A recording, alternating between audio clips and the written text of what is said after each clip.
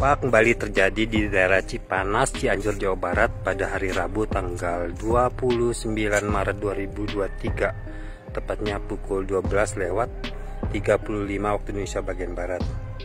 Gempa barusan cukup bergetar, jadi membuat kita kaget yang berada di dalam ruangan.